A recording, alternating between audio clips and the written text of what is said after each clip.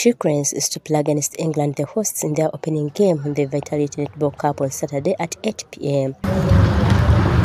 Ranked third in the world, England has won all the matches they have played against the seventh ranked Uganda. Through what we've been able to do in this first training session here in London. Yeah, okay, thank you very much. Uh, what we are doing today was uh, trying to see how best we can free ourselves from the opponents and also the marking because uh, we want to defend very much and also to be free in order for us to score goals. So that's what we have been working on and I think that's what we shall, we shall be working on until the day we play because I know they are prepared for us and we're also preparing for them.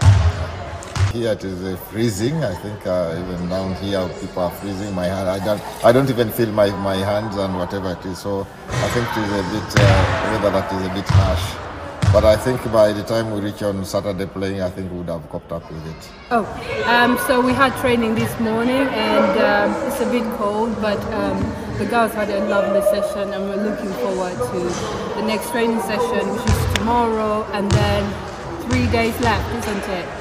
To our first game. So the focus is to keeping on the pressure training wise and making sure we are pushing each other and communicating through the whole training session. So that's what we did today. The two nations last met at the 2022 Commonwealth Games and the game ended 56-35 in favor of England. The Vitality Nations Cup brings together the top netball countries.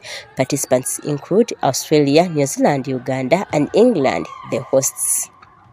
The Vitality Nations Cup, which starts this Saturday, is set to end on 27th of January.